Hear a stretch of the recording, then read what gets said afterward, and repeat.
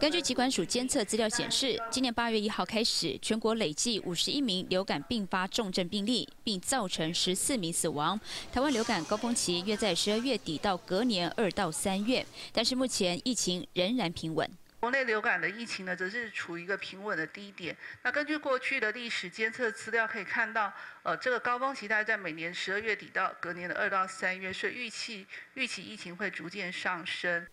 疾管署防范今年秋冬流感疫情扩大，宣布从现在一直到明年三月三十一号，扩大公费流感抗病毒药剂适用对象。除了原有对象，还包括孕妇经过评估需要及时用药者，伴随危险征兆、重大伤病。免疫不全、过度肥胖等类流感患者之外，还增加高烧持续四十八小时的类流感患者，家人、同事、同班同学有类流感发病者，两类可以使用公费抗病毒药物。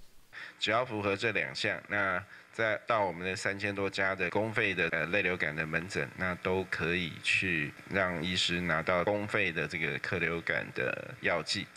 目前国内储备公费流感抗病毒药剂包括瑞乐沙及克流感。瑞乐沙是吸入型，克流感是口服，两者皆用在治疗 A 型或 B 型流感。储备量至少提供了两百三十万人。机关署呼吁，有符合以上资格还没有接种流感疫苗者，应该尽速接种。据然算导社台北市采访报道。